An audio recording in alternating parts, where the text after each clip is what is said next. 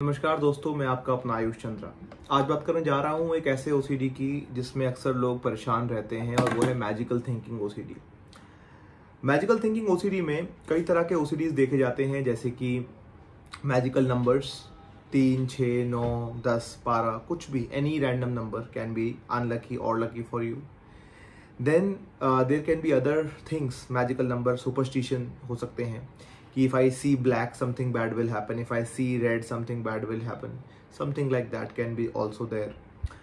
इसके अलावा आप मैजिकल थिंकिंग में देखेंगे कि कुछ दिन कुछ हफ़्ते डेडिकेट हो जाएँगे किसी के लिए किसी के नाम पर किसी के कुछ पे कि इस हफ़्ते इसका बुरा हो सकता है उस हफ़्ते इसका बुरा हो सकता है कोई भी चीज़ हो सकता है मैजिकल थिंकिंग ओसीडी का कोई दीन ईमान नहीं है मेरे हिसाब से। वो किसी भी चीज़ पर अटैच हो सकता है। मुझे लगेगा अगर मैं ये वाइट रिमोट को छू लूँगा तो something bad will happen to me और my loved ones anything of that matter एक रिसेंटली मैं केस की बात करना चाहता हूँ, जहाँ पे एक इंसान को आया। बच्चे को मैं मिल रहा था कॉलेज का स्टूडेंट था। तो उसको लगता है कि मैं जो भी लिखूँगा, अगर मैंने कट नहीं किया तो समथिंग बैड विल हैपन मन में आया नेगेटिव थॉट है कट करना पड़ेगा, जो भी लिख रहा हूँ। बच्चे ने अपने एग्ज़ाम के दौरान अपने पूरे पेपर को कट कट कट कट करके रखा हुआ है और बच्चे का जो है एग्ज़ाम क्लियर नहीं हुआ। कैसे होगा? क्योंकि ओसीडी ने आपको पकड़ा हुआ है, सताया हुआ है। ऐसे ही कई सारे एडल्ट्स भी आते हैं मेरे पास कि जी मेरे को लगता है अगर डेथ का थॉट आया तो मैं इस चीज़ को छू लूँगा तो बेटर हो जाएगा। एक कदम आगे चला जाऊँगा तो बेटर हो जाएगा। डोर को छू लूँगा चेयर को छू लूँगा तो कुछ अच्छा हो जाएगा। फंसे ही रह जाते हैं लोग इसके अंदर because magical thinking can spread any ठीक है? उसमें स्पेशली ज़्यादातर रोल होता है कुछ बुरा हो जाने का समथिंग बैड विल हैपन तो आपका बिलीफ सिस्टम जो है, वो काफ़ी हद तक आप देखेंगे कि एक बहुत ही आइडियलिस्टिक बिलीफ सिस्टम है, बहुत हाइपर मॉरल बिलीफ सिस्टम है आपका। एरर है मन के अंदर कि लगता है कि मेरे ऊपर डिपेंडेंट है दुनिया की अच्छा और बुरा होना, मेरे माँ बाप का, मेरे भाई बहनों का, आसपास के लोगों का। मैंने नहीं करा तो कुछ हो जाएगा। अच्छा ओसीडी इसमें आपको बुद्धू भी बहुत बनाता है ये बोलकर कि इतना सही तो काम है। ये टच ही तो करना है, कर लो। एक एक वर्ड ही तो काटना है, काट लो, ये डेथ से बड़ा तो नहीं है ना। तो इंसान भी फंसता रहता है इसके अंदर। छोटी छोटी चीज़ें बताता है ओसीडी हमें लगता है इतना सही है। बिकॉज़ गिल्ट होगा ना। क्योंकि आप अच्छे इंसान हो, आप क्यों चाहोगे किसी का बुरा होना? प्रॉब्लम एक और है कि आप लोग अपने थॉट्स को ना, अपने आप, अपनी ज़िंदगी से, अपने व्यक्तित्व से, अपनी पर्सनैलिटी के साथ ना फ्यूज कर लेते हैं। उसको हम थॉट एक्शन फ्यूजन भी कहते हैं। कि आपको लगता है, मैं तो अच्छा इंसान हूँ, मुझे ये गंदा थॉट चाहिए ही नहीं आ ही क्यों रहा है मुझे? मैंने किसी को एग्ज़ाम्पल दिया कि थॉट्स जो हैं वो ना क्लाउड्स की तरह है, बादलों की तरह है। कितना भी कोशिश करो, बादल को पकड़ पाओगे क्या?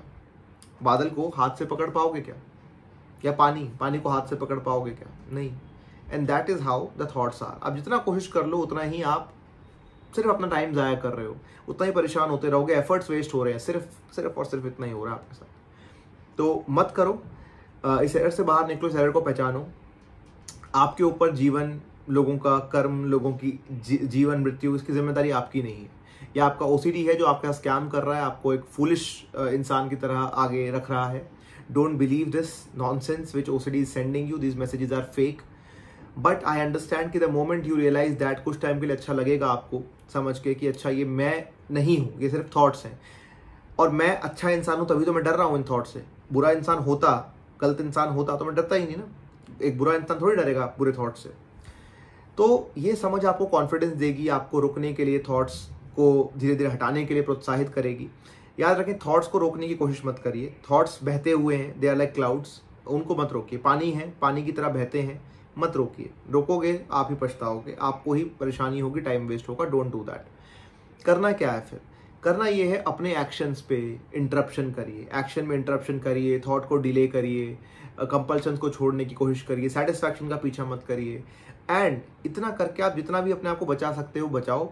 लेकिन आपको अब याद रखना पड़ेगा, ये सब होता है because of your childhood experiences आपने बचपन में क्या कहानियाँ सुनी, क्या किस्से सुने, किससे क्या देखा करते हुए किसको? कई लोग अपने माँ बाप को देख के ऐसा बना लेते हैं या आसपास के समाज को देख के। इवन समटाइम्स रिलीजियस ओसीडी जिसमें मन्नत ओसीडी टाइप की चीज़ें, वो भी मैजिकल थिंकिंग का हिस्सा हो सकती हैं। तो it's not a definitive category but anything can fault जिसका कोई लॉजिक नहीं है, दो तुक ही नहीं है उसमें। तो ये आप समझ के चलेंगे। साथ ही साथ आपको ये भी आगे समझना पड़ेगा कि अपने जो बचपन से बनाए हुए बिलीफ सिस्टम है, जो आपके रूट कॉजेज हैं, जब तक आप वो थेरेपी में डिस्कस नहीं करेंगे, जब तक आप थेरेपिस्ट को बताएँगे नहीं कि कहाँ से आप आ रहे हैं, किस तरीके का आपका चाइल्डहुड रहा है, कहाँ नर्चर रहा है कैसा इन्वायरमेंट था माँ बाप ने क्या सिखाया, दोस्तों में क्या समझ में आया, तब तक आप इससे बाहर नहीं निकल पाएँगे कंप्लीटली ऑल राइट तो तो थेरेपी में जाना इसलिए ज़रूरी है. एंड क्या है ना कि वीडियोज़ से, किसी भी चीज़ से आप जल्दी से मोटिवेट हो जाते हो, कुछ दिन छोड़ देते हो कॉन्फिडेंस भी आ जाएगा and which is a good thing but उस कॉन्फिडेंस का कुछ करो तो सही. है ना? कुछ करो, उस एनर्जी को कहीं लगाओ. और कहाँ लगानी है? थेरेपी में लगानी है. इट्स लाइक कि आपने एक दिन सोचा कि नहीं, आज से ना मैं अपनी ज़िंदगी में हेल्दी खाऊँगा, मेरे को अपना वेट कम करना है या हेल्दी वेट करना है। आपने एक दिन अच्छा खाना खा लिया, आपने कोई जंक नहीं खाया, कोई बाहर बर्गर टिक्की नहीं खाया बट नेक्स्ट डे से आप वापस उसी रूटीन में चले गए तो क्या फ़ायदा? So once your motivation is high use it to get into therapy get into treatment ताकि वो कंटिन्यू रहे वहाँ से।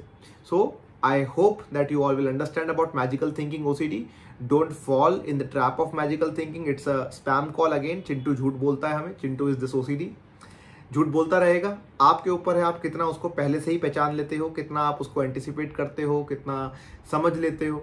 And then you will always be better once you do that so don't hesitate don't waste your time don't think कि कोई आपको YouTuber आकर hack बता देगा। कोई लाइफ गुरु लाइफ कोच हैप्पीनेस गुरु आ जाएगा आपको ठीक करने के लिए। बीमारी है, बीमारी की तरह ही ट्रीट होगी। ट्रीटमेंट है सीबीटी करेंगे एक्ट थेरेपी करेंगे हैबिट रिवर्सल करेंगे। ये सारी थेरेपीज के नाम मैं बताता रहता हूँ। सिर्फ़ इसलिए बताता हूँ ताकि आपको समझ में आए कि इन सब के लिए थेरेपीज बने हुए ठीक है? आप आगे भी किसी को वीडियो सेंड करें तो उनको भी पता लगे कि उनके पास टेक्निक्स थेरेपीज हैं साइंटिफिकली प्रूवन है। ये कोई टोना टोटका नहीं है ये कोई जुगाड़ नहीं है जो दिल्ली में हम लोग बोलते हैं। ये कोई आ, कोई यू नो उपाय नहीं है। Therapy evidence based scientific tools हैं जो हज़ारों हज़ारों लोगों पे रिसर्च करके ओसीडी के लोगों को ठीक करके बनाए गए हैं। So it's a very good validation is there empiricity is there empirical चीज़ें हैं।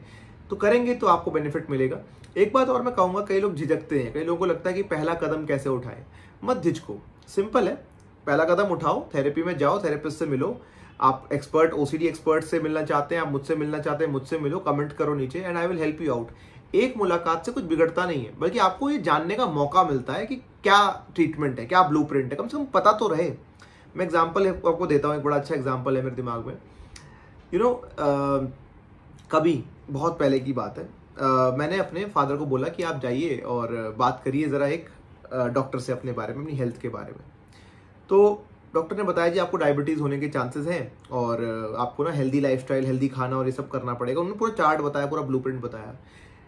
Person did not take action उन्होंने कुछ एक्शन नहीं लिया, उन्होंने कुछ आगे बढ़ाने ट्रीटमेंट भी नहीं लिया, लेकिन उनके दिमाग में तो रहा। तो उसके बाद से उनकी लाइफ में थोड़ा थोड़ा चेंज आने लगा। देख के खाना, मीठा ना खाना, ये सब करना, कभी मौका मिले तो वॉक पे चले जाना।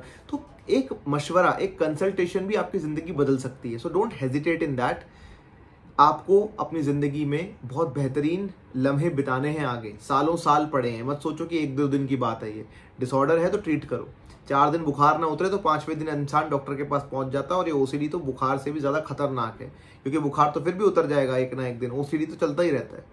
So take care of yourself keep beating OC like a pro मेरा नाम आयुष चंद्रा है, मैं एक गवर्नमेंट रजिस्टर्ड साइकोलॉजिस्ट हूँ।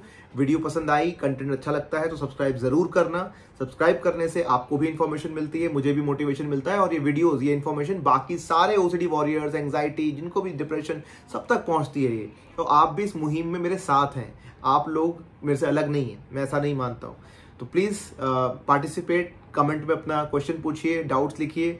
मैं कोशिश करूँगा जल्दी एक वीडियो बनाने की जिसमें आपके डाउट्स क्लियर करूँगा। All the best to everyone see you in the next video